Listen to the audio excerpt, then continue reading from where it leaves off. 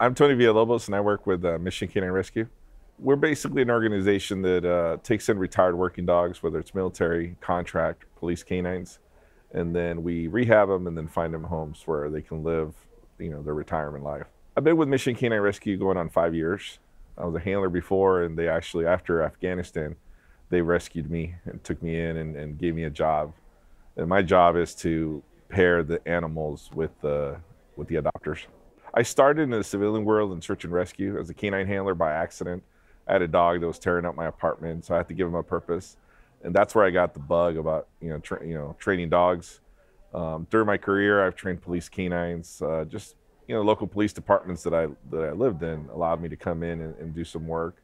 Um, I had an opportunity to go to Afghanistan as a contract canine handler. I was going for a year and ended up staying four, and uh, so got injured, came home and, and that's when Mission K9 Rescue picked me up. And right now I do on the side, I do uh, police canine training. Our goal is to provide a suitable home for, for these guys to retire in. Um, one of the things that we're seeing with the current climate in police, um, with the media and the defunding departments and how uh, stuff like marijuana and, and, and certain drugs are being decriminalized, a lot of these dogs are no longer useful to the agency, so they're, they, they retire them. So our goal is to be able to take them in, and uh, properly rehab them to be able to fit into a home environment. And then just let them live out the rest of their life just as a pet. They're not required to work. Uh, they're just required to just be a dog. One of the things that we found with Mission K9 is that all our employees are non-handlers. Um, us as handlers, I think when we deal with a working dog, we bring that that handler vibe into it. Um, so the dog never shuts it, you know, shuts it off. They're always working. They're always uh, when when they're on the, when the handler grabs the leash, the dog feels and knows that it's time to work. So what we've done, uh, something as simple as hiring just somebody with no working dog experience, just even a pet trainer or a pet handler, um, the dogs are able to turn it off and, and they're able to transition uh, from the working environment to just being a pet. You know, their expectations are just to, you know, chase the ball. You know, if they want to keep it, they get to keep it. They don't have to out it until they're tired so when the dog comes in after we get them, let's say from an agency, mm-hmm. we medically vet them uh, to make sure that you know if they have arthritis or any any medical conditions they have, they're being treated, and then we allow them to decompress at our ranch in Houston. Uh, once they decompress at our ranch, usually it takes about three weeks. At the three week mark, you know, three to four week mark, you know that personality of the dog is pretty much there. That's who that dog is. Um, so then the next process is to try to find the human or the home where that dog's going to thrive in. So, for example, if we have a Malinois that even though he's retired, he's very high drive, uh, still has a lot, you know, a lot of drive into him. Mm-hmm. We might pair him up with someone that maybe with no kids or someone mm-hmm. that's very active, uh, retired law enforcement person, you know, that just is looking for a buddy.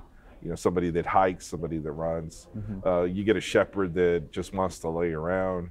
Uh, we might pair him up with an older, you know, an older person or you know somebody, a couple you know, they do small walks, or somebody just wants to have a dog hanging around while they're doing some gardening. Well, having the proper equipment is important with these guys because even though we're trying to transition them out of the working uh, the working phase, uh, they're still a working dog. Um, so, for example, uh, Malinois, you know, large Malinois, you, you know, you're not going to deal. It's not going to do good with a, you know, a leash that you buy like at Walmart or something like that. So, having the proper equipment to be able to properly secure these animals or, or uh, handle them or uh, maneuver them into, uh, into the world uh, without them getting into trouble. Because if a leash snaps on one of these dogs and they go after someone playing soccer, you know, it's, it's a lot different than your chihuahua chasing a ball. So how can people help you?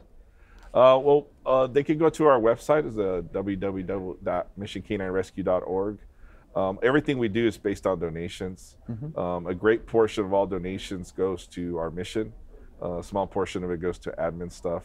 Um, the best way is just a donation because that allows us to pick up you know dogs from agencies, uh, reunite them with handlers, uh, transport them around the world because that's what we do. You know, we're one of the only organizations that picks up dogs and drops off dogs all over the world. Yeah, I'm Tony Villalobos with Mission K9 Rescue. If you're looking to support a retired working dog or adopt one, you can find us at missionk9rescue.org. And that's mission, the letter K, the number nine, rescue.org.